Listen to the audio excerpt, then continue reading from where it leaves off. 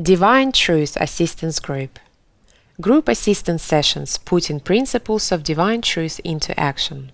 This recording is from the Developing My Will to Love group and is part of the Education in Love series. In the Rewards of Developing My Will to Love presentation, Jesus encourages us to see that God is good and offers many gifts no matter what we do, but also offers additional personal and collective rewards that come from our choice to develop our will to love and obtain an education from God. Recorded on the 12th of March 2016 in Noosaville, Queensland, Australia. Got a bit distracted. Sorry about that. It's because my girl arrived, so I've got an excuse. You're lucky I came back at all.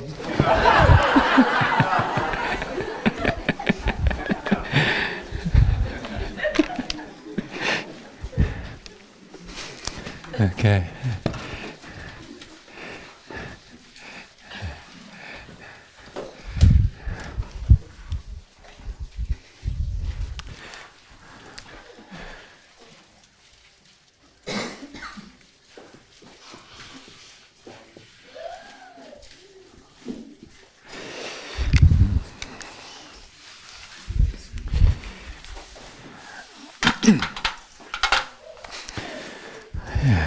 Okay.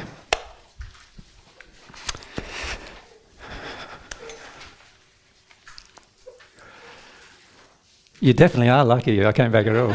you know that, don't you?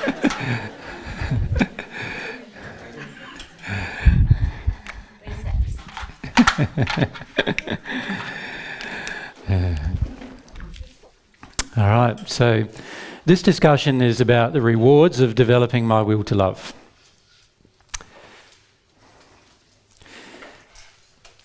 In the Bible, there's a quotation. It's uh, contained in Matthew verses six, chapter six, verse thirty-three, and it says, "Keep on seeking then first, keep keep on seeking first the kingdom, and all these other things will be added to you." Hmm. It's not actually what I said. it's close, but I said, keep on seeking first God's love, and all these other things will be added to you. Right. So, what we're going to do is uh, look at the all these other things.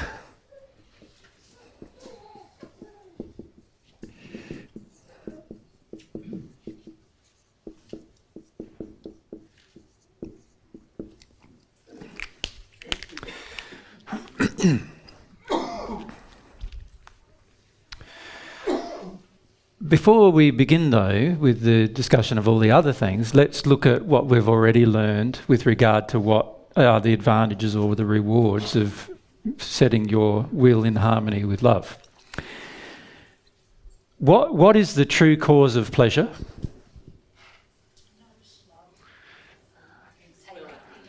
So it's living my life in harmony with love and truth, isn't it? Right.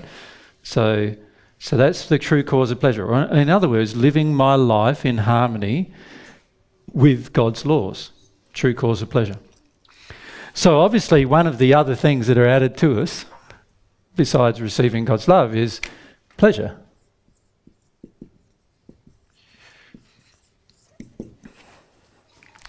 So that, that makes sense in terms of and it's sort of what you would expect in a way. If, if God's good, then surely pleasure would be the result of doing things in harmony with God's laws. And of course, then there's the extension of pleasure over a period of time, which is joy and happiness, right? So, joy and happiness are also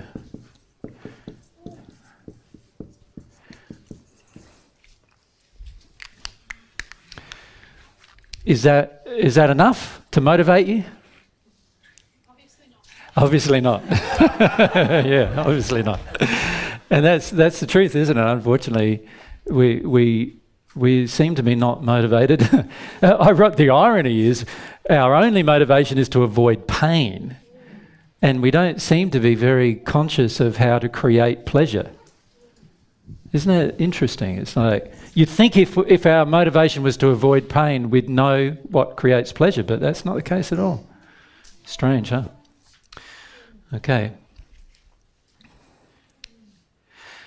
Now, those uh, two things we've discussed a lot, and the reason why we've discussed these things a lot is because we want you to see that the true cause of pain and unhappiness is our desire to sin, our desire to live out, out use our will out of harmony with God's love and truth.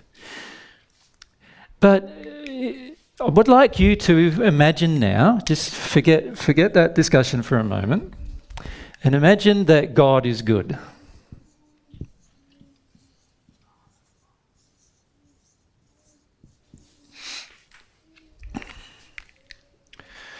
I feel we don't do enough of this. We don't, we don't have any faith that God is good.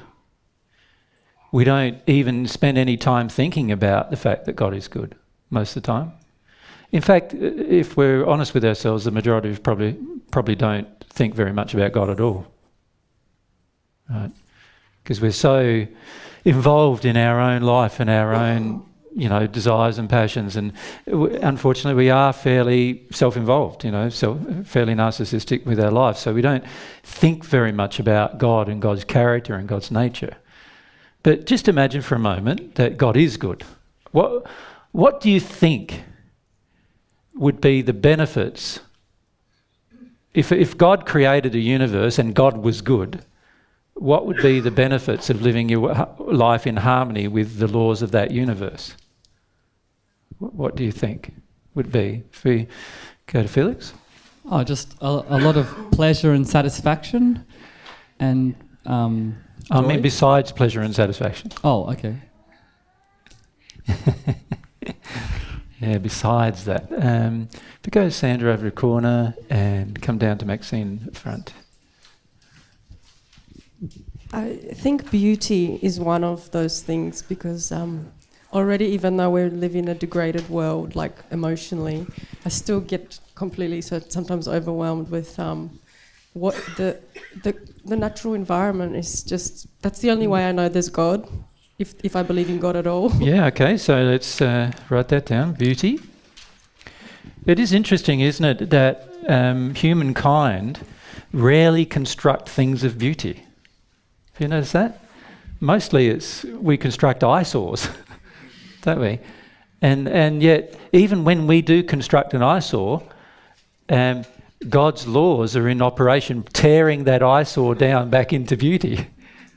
over, over thousands of years, eventually it is gone, the eyesore.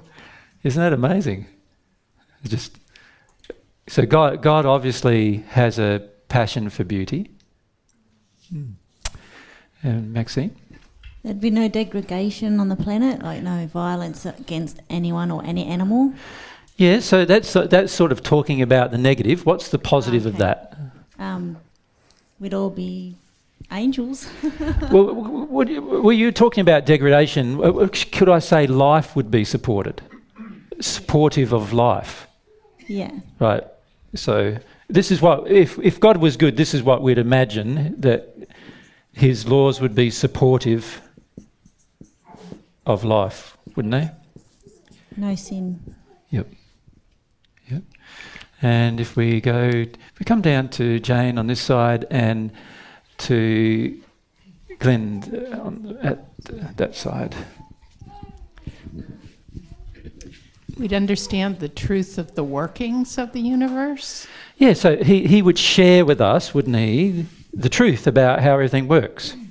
Right? So that, that'd be a nice thing to know, wouldn't it? Like, instead of feeling like we're in the dark all the time, we, would we'd, we'd know the truth about life and how everything works. That, that'd be fantastic, wouldn't it? And Glenda? Part of supporting life, there would be no carnivores, human, animal. Otherwise. How do you know that though? Because it, like well, there needs to be there needs to be rubbish like things that deal with rubbish. Yeah, but what about lions attacking people or killing other animals? Well, like? so there'd be no violence. Yeah. is probably a better way of saying it. It doesn't mean there'd be no carnivores because they're, Okay, yeah. they're you know, we, we need like we need things like right from ants upwards, don't we, mm. to clean up the world. Like so, when a big animal dies, right, then obviously something would have to clean it up. Uh, so it'd be better if there's something that can clean it up, wouldn't it? Rather than you having I- to clean. rather than I, you having I'm also thinking about human, my personal um, fears. No attachment to nature would. Yeah, my fears of nature would disappear. Of course, I yeah. would be much more in tune with nature and be able to play with animals that but that's you. I I'm now see as dangerous. Well, it would apply to everybody. Yeah, but um, that's not what God has created. That's what we've created. We've created the violence in nature. Yeah, and I'm saying that would disappear. It would disappear. It- yeah, Yeah, but that's not disappearing because of anything God's done. no. It's disappearing because we've chosen to reverse the choice we've made. I'm, I'm wanting to focus on what God, the things that God is Okay. doing. Does that make sense? Yeah. Yep. Uh, if we go across to Igor. And Jennifer on this side. Keep your hand up, Jenny. uh, involving us in uh, uh, baby making process to show his love for us, Okay, so so the, uh, to, to teach us uh, how he feels about you know the new baby coming in, and it's sort of how he sees us. so what what would you summarise that as being? Uh, All those co- things. co-creating with him or something like that. So involving us in co-create in creating, Yeah, so that so we can be feel feel um, the beauty of that, you know, the beauty of creation, and so isn't he really educating us? yeah, Edu, educating us to create. yeah. Don't you do that with your children? Like, like a good a good parent basically doesn't just give the child a whole heap of things without helping the child learn how to create them for themselves, does it? Does it? We we help the child learn how to create things for themselves. That that'd be a good definition a, a- definition of a good parent. So obviously, if God is good, if God's a good parent, then God would also be educating us how to create too, which which God is doing, obviously, um, because we we do create, we do finish up even having children. He even the procreative process is all about educating us about children. Okay, anything else that God's doing? We were over at Jennifer. There'd be peace in me and peace in the world. Um, I can't agree with that No? because to me, um, to me, that's what we create, right? And we, we've got the choice to create that or not create that. I'm, I want to talk about the things that God has. That if God was good, what would God do? Is harmony in the same as peace? Yeah, I feel that the reason why the world's in disharmony is because we've chosen, using our will, to to cause it to be in disharmony, and and therefore, who has to reverse that? We do, and and God's given it the potential to to be good, but but but that's up to us. That's up to what we choose. All right, these are happening whether we choose them or not. do you follow me? Yeah. If we straight behind you. He's given us freedom to choose, um, hasn't he? The Yeah, that's right. So if too. if God is really good, like this is the the uh, the free will issue, isn't it? The the fact that He's given us free will, the freedom to choose, is is a great thing, isn't it? Isn't that what a good parent does to their child too? Gives them the freedom to choose for themselves within certain boundaries. And what are those boundaries? Well, they're boundaries of what the parent decides is loving. And so what God's done is the same thing, obviously. We pass straight back to Claudia on this side, and then if we come down to Yvonne on this side, and we'll work our way up. So come down, leave your hand up, Yvonne. So, oh, if God is good, it means that um, that um, He treats us all equally. and Okay. fairly, and that the laws are consistent. Okay, so this is very important. Two very important issues there. One, one is equality. Is is is basically the law, and the other one is loving laws, the loving guidelines, isn't there? What's going to help us? Loving guideline, gui- G U I D E lines. Loving laws or loving guidelines that that determine what happens to us. Okay. And we were down to Yvonne. Yeah. Um, is this where God will transform our soul so that we have like an eternal existence and it's more divine like? Yeah, well, so, so really what you're saying is that it, it, growth would be continuously possible, Yes. wouldn't it? So there'd be continuous growth of, of the individual. Of the- yes, and there's also an aspect of divinity. Kind of, it'd be Well, I don't know if you could presume that just from be- God being good, um, but you could certainly presume, if God is good, that growth is obviously something that's going to continue to occur, and and and, so we continue to grow and continue to change as a part of part of life. Yeah, Talia, thanks. Yes, go straight across and, and then back. Um, will God teach us the truth about Him? Like, yeah, to me, that's this truth about life, truth about God, truth that. about how the universe works, truth about God, uh, you know, how we work, everything. Truth about everything, yeah. Joshua, Um, could we bring in um, like immortality?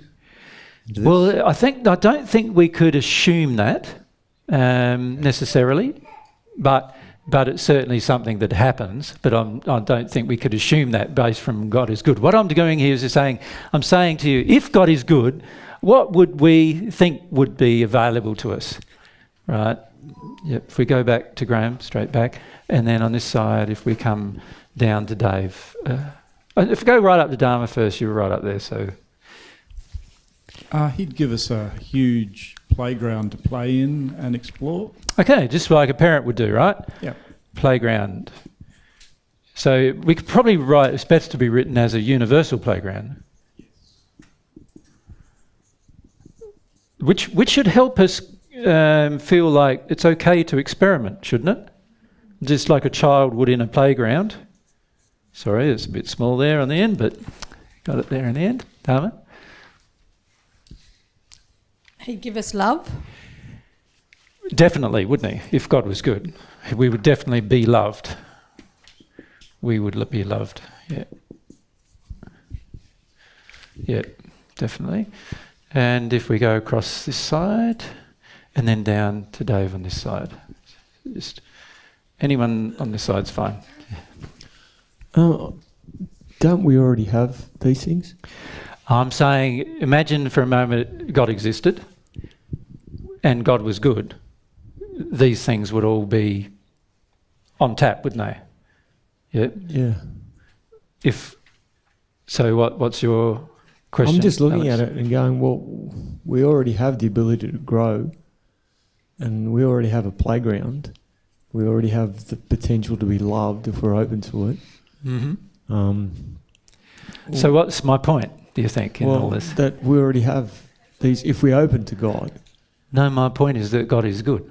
He's Yeah. already proving He's good. Yeah. So He's already, we've already got these things. Yeah. So it must mean that God is good, and we've got these things without earning them. We don't have to earn them. We've got them anyway. Isn't it wonderful that we have a God who's willing to give us a whole heap of things, even though, if we look at it, you know, the average person will go, if the average person was being a bad person, you'd say they don't deserve anything, right? Wouldn't you? So if God, if God was nasty in any way, you'd think God would take away a lot of these things. But no, God hasn't taken away at all. In the first century, I said, God makes the sun shine and, and the water rain on the wicked and the righteous. And why did I say that? For the same reason what I'm trying to get at here with you. See, the average person wouldn't do that. the average person on earth is if somebody treats you badly or somebody treats someone you love badly, you pummel them into the ground. Isn't that the average person on earth response? Uh, the average person on earth's response is punish them. You know, don't give them anything. Make sure they suffer. Like, if God was interested in your suffering, don't you think He has enough reason already to make you suffer, given what you've chosen to do? Right? But, but these things are proof that God is good, right? Now, wh- why have I raised that with you regarding the rewards? If they are the things we know about, where God is proving that God's good, and that's the result of us sinning, like we're getting these things even though we're sinning. If, if we're getting these things even though we're sinning, how do you think it's going to be when we stop sinning? Do you think it's going to be worse or better? it's got to be better, right? better than that. So then the question becomes well, what is better than that? Because for a lot of us, that's enough, isn't it?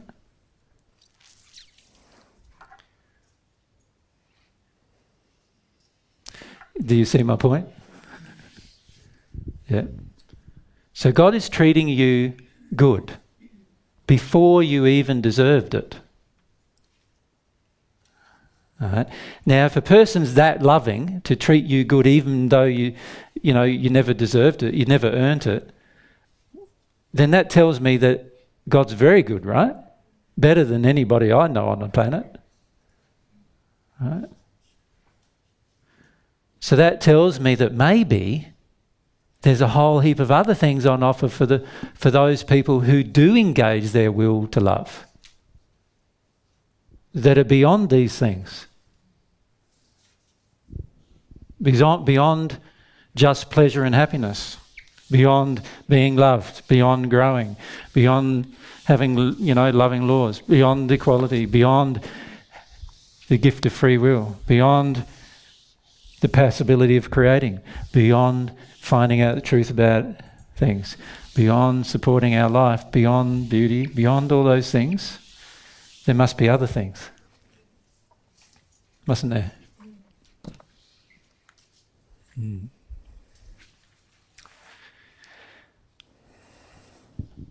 That's it.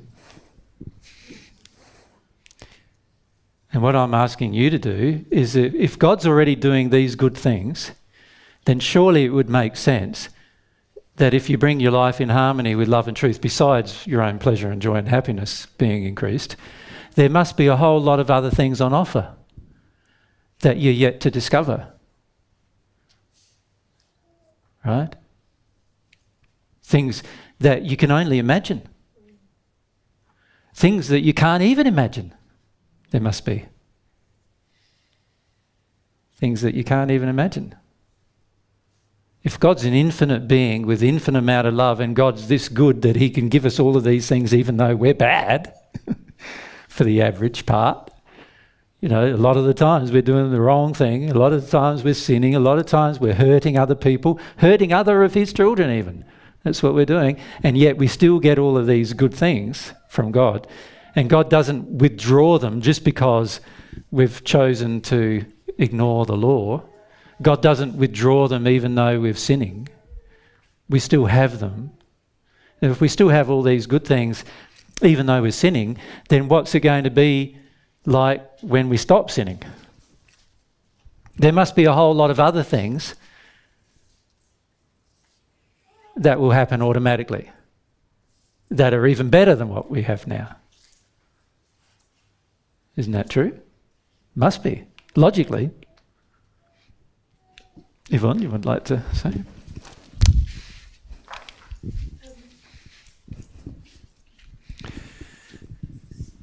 I was thinking about free will and why would um, such a loving parent give us free will, and I realised because there is something better, and um, and that's love, and I only have an inkling of an idea of what the potential possibilities are of love at even the level of just being at one with God, Hmm.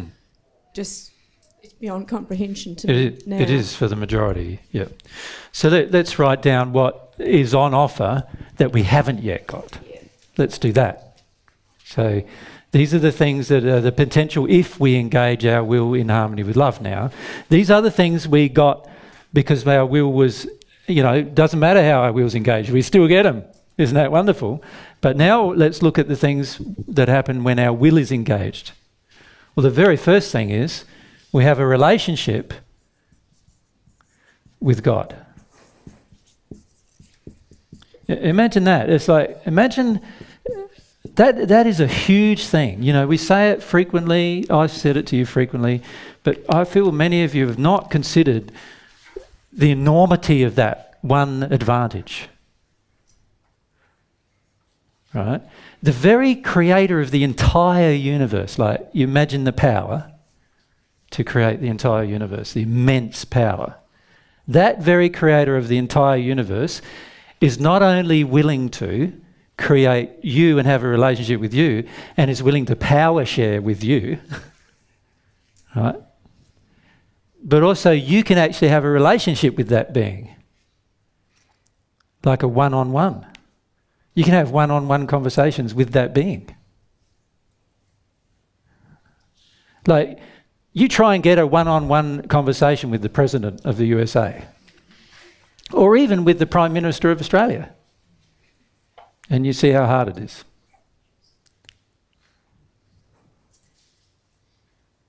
Right? Anybody who you even admire, you try and get a one on one conversation with them. It's pretty hard.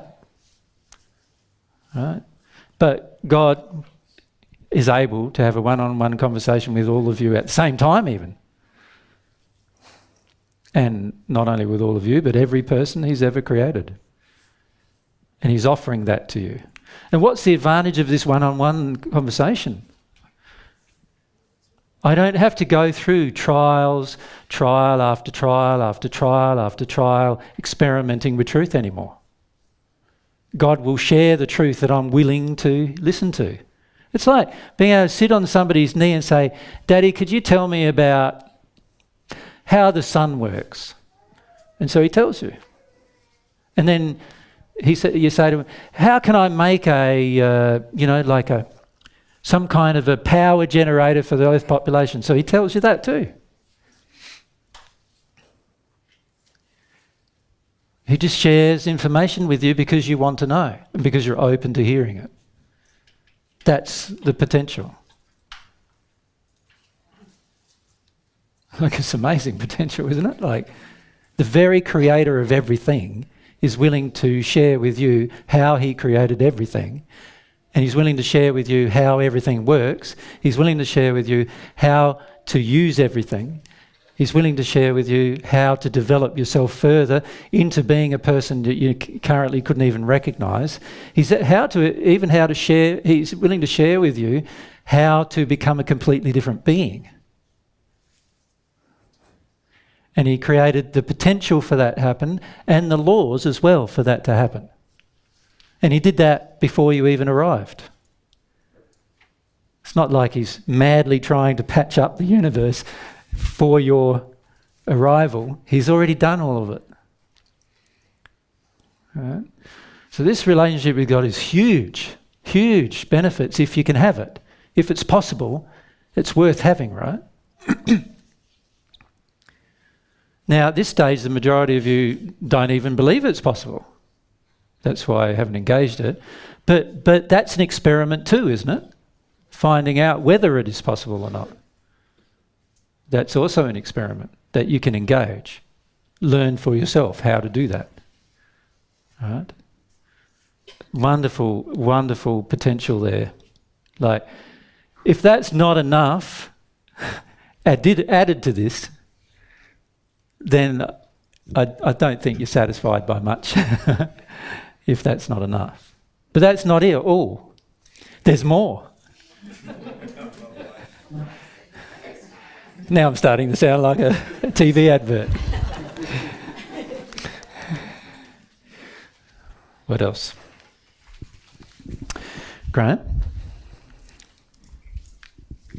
Um, my mind immediately goes to the celestial realms and everything that is possible when you grow your soul in love, the extreme beauty, the extreme beauty of the music, the colours, uh, the ability to create things, uh, Yep. information transfer. But all of those things are still available to even people who are sinning. So, like in the sixth sphere, people are still sinning. Mhm. They commit the one sin, which is the sin against the Holy Spirit, the very biggest sin you could commit. So, a lot of those things you mentioned are all available to them as well. Hmm. Mm. So, what's not available to them? To create a, a universe or anything when you're in the celestial. Well, no, they can create things, just not as bigger things, that's all. So, they still have the pleasure of creation, Mhm. but there's some things that are just not available to them at all.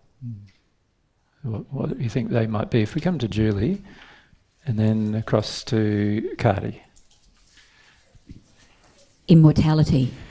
So immortality is not available. Yes. So this is something that God is offering. And honestly, it's another thing that you just cannot imagine how important it's going to be to immortality, to your life. To, to know that you can never die. To know that you can never, existence can be never rubbed out.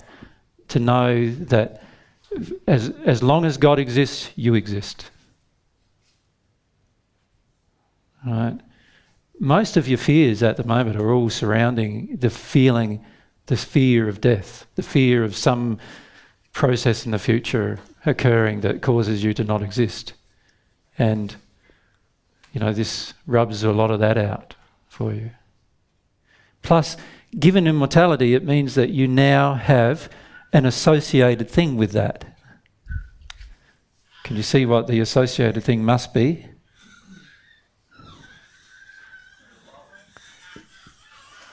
Living forever. Everlasting life.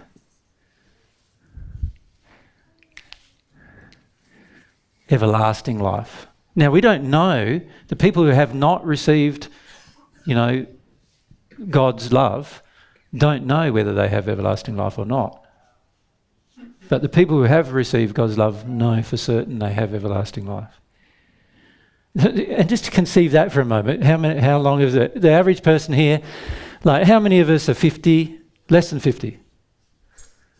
Uh, about half, higher than 50? About half, maybe a bit over. So probably average age is 52, 53 here at the moment. Right, that's probably the average age. Not very long, hey? Imagine that you somebody come up to you and said, "How old are you?" And you go, "I'm one million two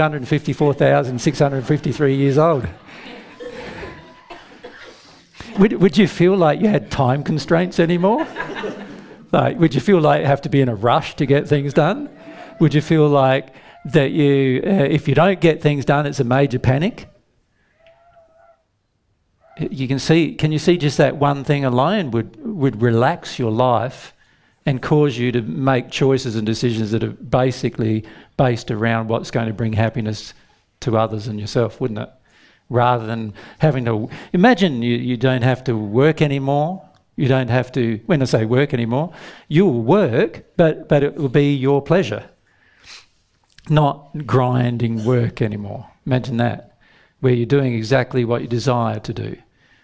And it benefits everyone around you, not just you. Right? This, uh, this thing here is a big thing. It's a big thing. Anything else that you think of? Where we're up to? We were up to somebody. Ah, Cardi, that's right. Um, complete happiness. Yeah, well, that's up here. That's already been, been listed, yeah.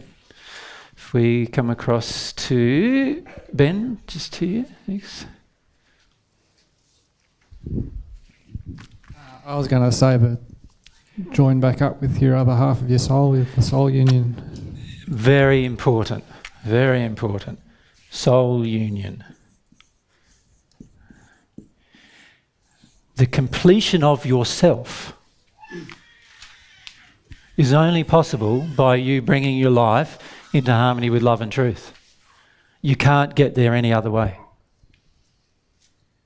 You will never, ever be complete with the other half of yourself without embracing the process of learning how using your will to love and using your will in harmony with truth. Ever. So that's a major benefit, isn't it? That you eventually actually have a complete understanding of who you are. Yeah, big, big thing, big thing. If we come down to Dave and across to Jane. Leave your hand up, Jane, so Laura can see you. Thanks. So I guess uh, with what you're saying there, that, there, that there's something you would feel something missing if you if you didn't that. That's exactly what I'm saying, Dave. So the people who are in the sixth dimension of the spirit world will feel a number of things missing. Not just if they choose to remain where they are, eventually they will feel a number of things missing. One is the relationship with God. Another one is the fact that they still wonder whether they're immortal or not. They don't know. And another is they still feel like they don't really have a complete relationship with the other half of themselves. The very things that would satisfy most of your existence, you're missing. And, and we've got very little concept of that. Mm. Yeah, because we're used to being separate. You know, we're used to thinking we're going to die at any minute, and we're used to not having a relationship with God, and we're used to being separate from our other half. So we, we, it's, to us, it's like normal, right? But, but once you've experienced those particular things, honestly, they're the, probably the biggest things that I've ever experienced, those three things are the biggest things in my entire experience. Does that make sense? And, and this is what they are the biggest things that I can think of that are the benefits to you having a relationship. This relationship, just using your will in harmony with love and truth, ends up with this relationship. Because if it's in harmony with truth, you recognize the truth that God exists and the truth that God loves you and the truth that God wants a relationship with you and the truth that He created you to have a relationship with Him. And so you'd engage that relationship. And so these things come about by you using your will in harmony with love and truth. Yeah. Uh, But they are things that are beyond our conception until we've experienced them. This is the trouble with listing rewards. Can you see? Because the rewards are beyond our conception to even imagine what it's like. And this is why, in the end, it- we have to get back to this primary thing trusting that God is good, that, that what God's got on offer is far beyond your capacity even to imagine at this point. Given the fact that he's, that he's good enough to do all of those other things we listed, listed, even though we're sinners and even though we do the wrong thing frequently, he's good enough to do all of that. So, so if he's good enough to do all of that, then he's better than the average person as well. And we need to come back to this trust that God is good in this process. All right, Jane? Growth in the qualities of God? Well, that's a part of the relationship with God, I feel, yeah. Um, although, are you talking about the transference of God's qualities to ourselves? Yes. So that's a.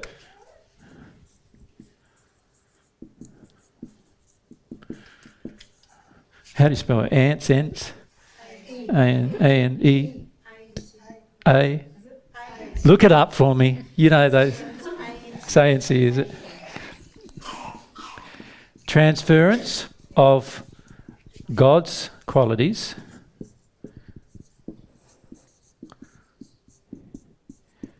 to me.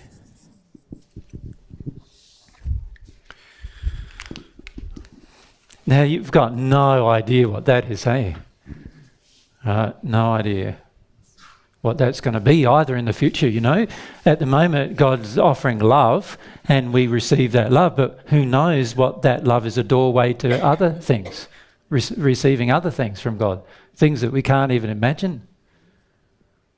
We don't know. It could be, right? So, and the, the fact that God's transferred God's love to us and it transforms our soul means that it's highly likely that God's probably got other qualities that God can transfer to us. So, yeah. Anything else you can think of? So we go to Maxine over.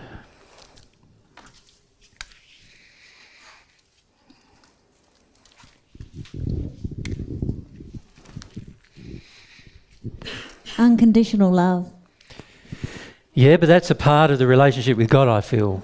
Okay. Maxine? Yeah? Yeah. Anything else you can think of? If we go to Yvonne on this side.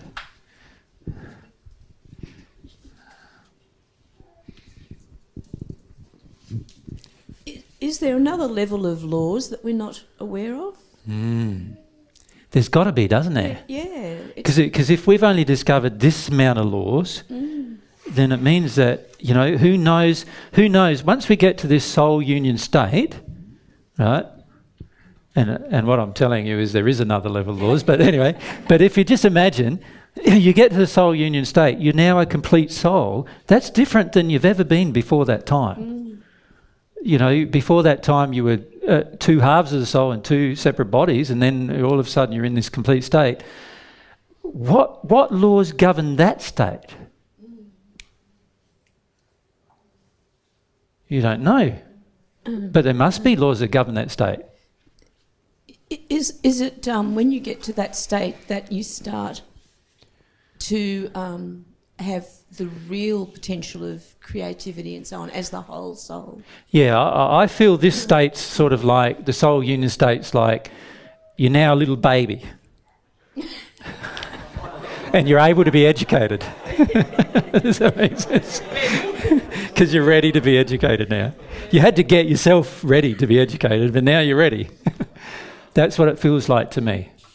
Like, it feels like that state is the state of like being ready to be educated about a whole field of other experiences and, and, and things that you had no concept existed before you got into that state. And in fact, getting into that state was necessary for you to receive this other education. And and you indicated at the um, first assistance groups that um, the potential of a lot of other qualities that we're not even aware of yet. Yeah. Even within our own soul that we're not even aware of. Yeah. Yeah. Because there, there's uh, the way the two halves of the soul work together in harmony with each other is far different than you working and as an individual, you know, in your life. You, you, you never really feel like, like in, in the end, you'll feel like the two are one. And so there's not a need for another. You don't feel any like separation. At the moment, most of your life is based around separation. In fact, most of you prefer it to be based around separation. So, so not only is it transference of God's qualities, but obviously there's a whole new set of education. And, and, and I'm going to write this down. I begin my education.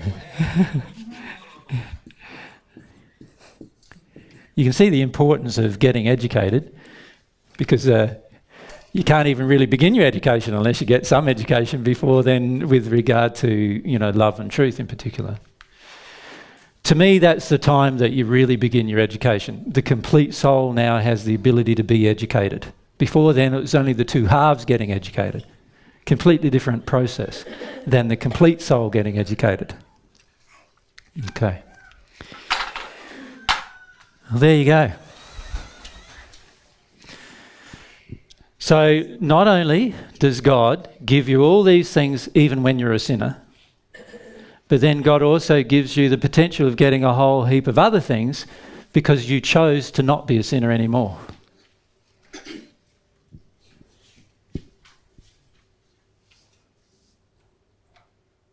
Sounds pretty good to me.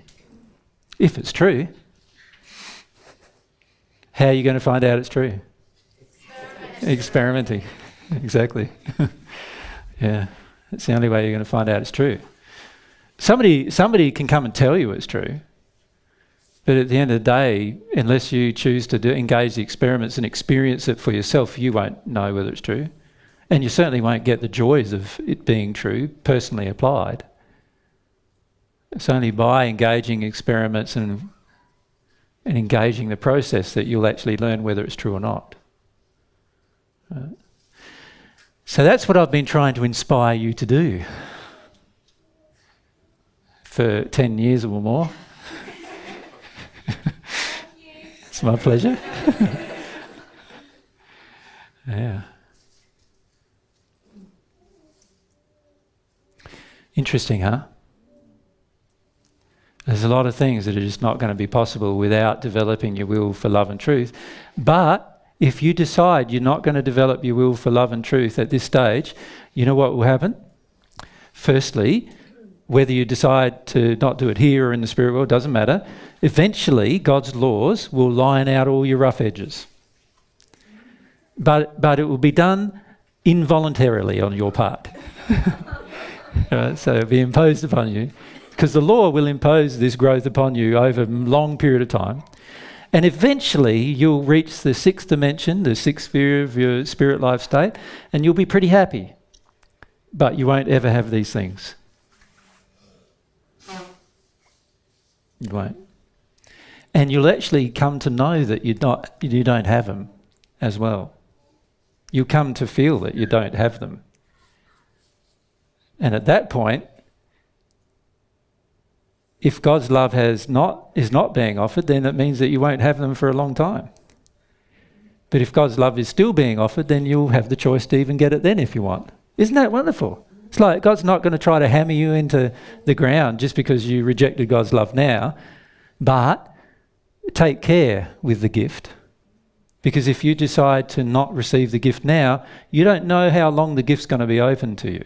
That's all. You don't know. It's not a threat of God, it's just you don't know how long God's going to offer the gift. You don't. And if God, with, because God never offered it up until 2,000 years ago. So that means that there were periods of human history where God didn't offer the gift. Right? Laura? Yeah. Um. Do you know why? Um. Like. Yeah, because no one on earth wanted it. Oh. Does that make sense? Yeah. Yeah. So you you're basically the first sort of. No one even knew it was possible to want, let alone wanted it. Yeah. Aside from the first human couple, obviously, who were offered it and rejected it. So, sorry, just one more thing. And so when you, because you mentioned in the channelings as well, um, with the Sonia, I think it was, Mhm.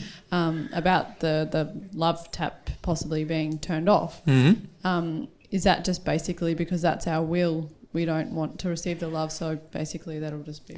It's not just dependent on our will, no. It's sort of like like is the child receiving a gift dependent on the child's will? Who, who's it dependent upon? The parents, yeah, parents' will, right? So we, we have to honour the fact that God has will, and most of us don't honour that. We don't. We don't. We don't think that God has will. God's allowed to offer a gift, and God's allowed to not offer one. We don't think that, and and that's a misunderstanding of the use of will. We actually believe that God should always do something. That's what we believe and which is an error in our belief system. God shouldn't ha- always do something. God's allowed to choose what God does, just like you're allowed to choose what you do. You can offer the gift of your love and you can withdraw it if you wish. God can do the same. God's allowed to, God's got will, just like you have. And if a person truly appreciated that, when the gift is offered, they'd receive it, would they not? they would choose to desire it and receive it if they truly appreciated what was on offer. Right? So this is the thing we need to come to understand is that God has will. Just like you, God gave you the gift of free will. Before you even conceived of the idea of it, God had already given it to you, this gift of free will. And the reason why God gave it to you, one of the reasons, is because God wanted you to make your own choices and make your own decisions. God wanted you to choose a relationship with God or not, up to you. You're allowed to do whatever you want, including allowed to choose to not have a relationship with the very person who created you. Now, what kind of parent on earth does that for you? Most parents on earth go, What? You're my child. You must do this for me. You must have this relationship with me. You know, how dare you contemplate not having one? You're allowed to contemplate not having a relationship with even your own parents. From God's perspective, that's what God's done with you. He, you're allowed to not have a relationship with God if that's what you so choose. But you're giving up these things if you do. That's what you're doing. You're, you're permanently giving up these things. When I say permanently, while you decide to not have a relationship with God, those things will not be possible. Doesn't matter how much you struggle, how much you desire them, how much you try to find them from other alternative means, none of it's going to be possible without the relationship with God. And none of it is definitely not going to be possible without your desire to use your will in harmony with love and truth.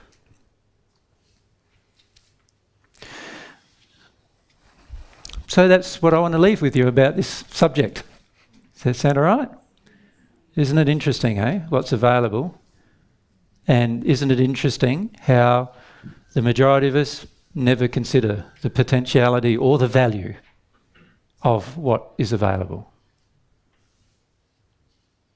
So, what I would recommend that you do is start considering these things as having value to you having worth enough to begin an experiment with God. Have worth enough to motivate your will to live your life in harmony with love and truth. God's going to still look after you even if you don't do that. Even if you're a sinner, God's going to make sure you're fed and then you're watered. God's going to make sure, you know, that you, you can still grow and you can still have interactions, relationships, and everything. God's going to make sure all those things happen because all of God's laws make sure of that already. That's not going to change. Right? So there's no, there's no carrot and stick here. There's only carrot and carrot. There's no the stick. There's not. It's not a, like a God's going. If you do, if you don't do this, I'm going to punish you for the rest of your existence. It's not like that at all. God, God wants you to be happy for the rest of your existence, even if you don't choose God. Right? That's what God wants, for you to be happy, even if you don't choose God. But God knows that if you don't choose God, and if you don't choose your will to love, and you don't believe in God's goodness and have some faith in that, then your happiness will be limited. It'll be far beyond your wildest capacity to imagine now, but it will still be limited. And these particular things are only available to those who choose to use their will to love, choose to use their will to want truth. And to me, it's like God's really saying to us, like, the rewards of wanting to use your will to love and truth are far beyond your own internal capacity to understand or imagine. Which is what you would expect from a loving God, isn't it? Yeah. Okay. Well, let's have a 10 minute break.